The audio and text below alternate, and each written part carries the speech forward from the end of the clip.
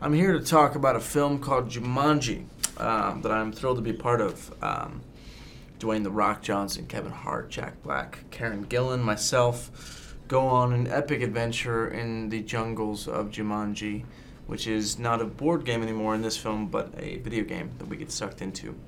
Uh, and well, they do, and then you find me later on in the film, and we help each other complete this game, uh, and it's a, a, great ride for the audience. Action packed and uh, full of some, some great comedy as well. Who's good at staring and not blinking?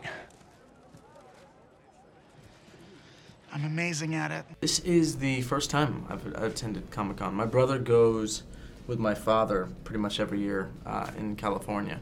Uh, yeah, San Diego. He loves it. Um, but this would be my first time, and I'm, I'm excited, really excited for it. I think the fans can expect uh, to learn about the film and to get excited to see it, hopefully.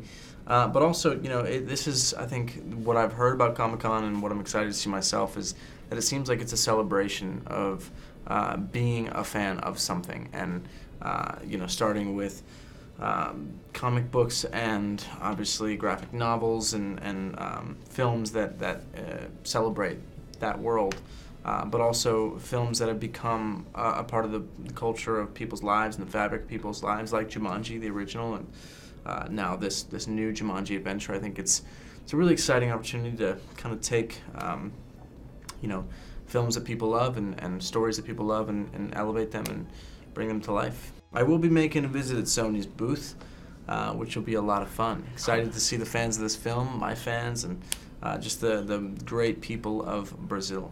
I might need a costume if I was just going to walk around, uh, but that's the, the beauty of, uh, Comic Con, is you can kind of throw on a you know stormtrooper outfit and so, be so, good to go. A stormtrooper or Deadpool or uh, you know maybe Spider-Man, any one of those would work.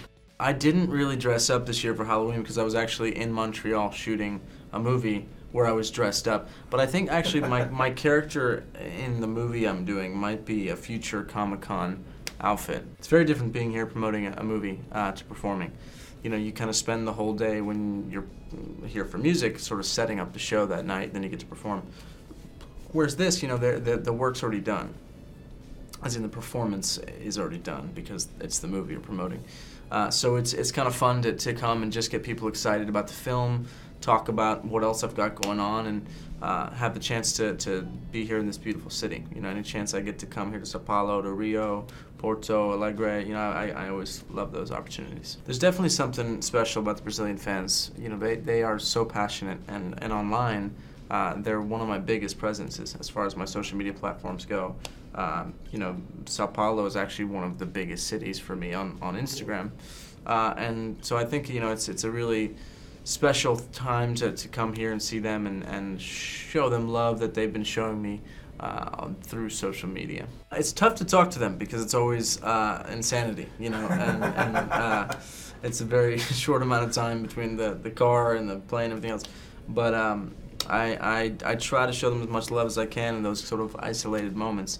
But the shows here have always been amazing uh, and some of my favorites.